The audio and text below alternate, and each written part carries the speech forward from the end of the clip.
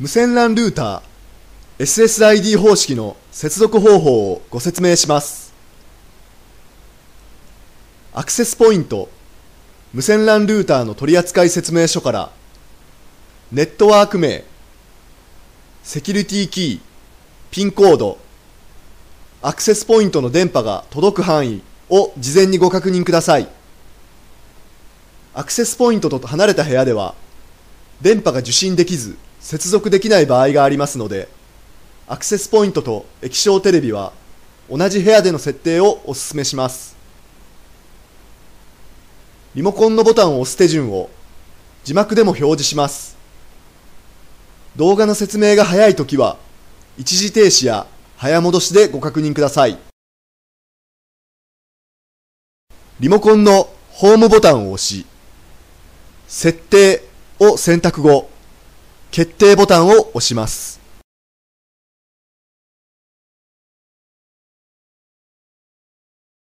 視聴準備のメニューから通信、カッコインターネット設定を選択し、決定ボタンを押します。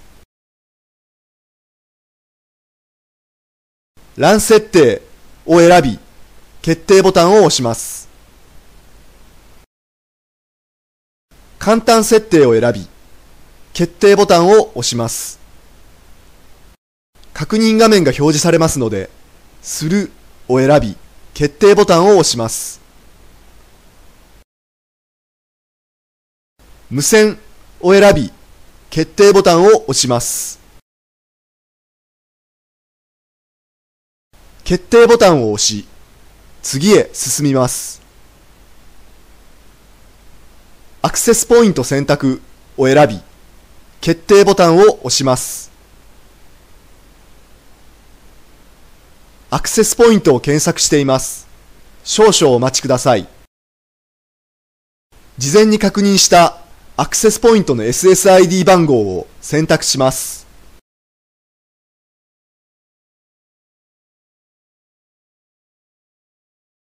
決定ボタンを押します。セキュリティキーを入力します。アクセスポイントの取扱説明書に記載、またはお客様が設定したセキュリティキーを入力します。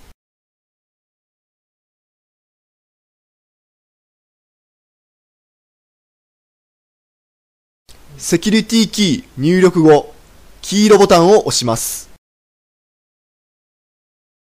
決定ボタンを押し、次へ進みます。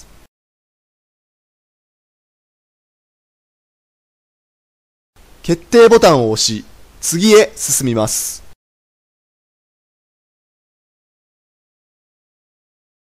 少々お待ちください。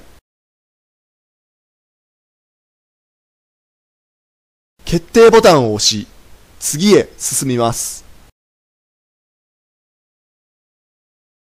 接続テストを行いますので、決定ボタンを押します。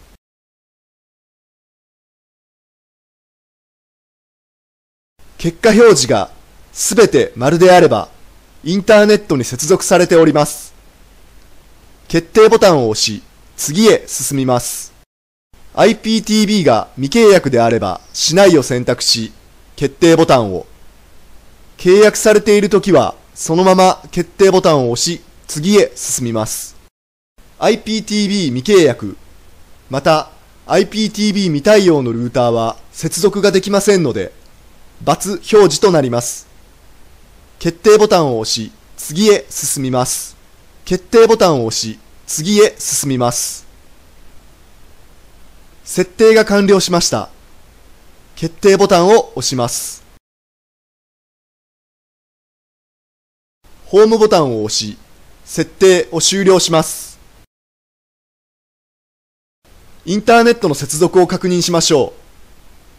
ホームボタンを押します。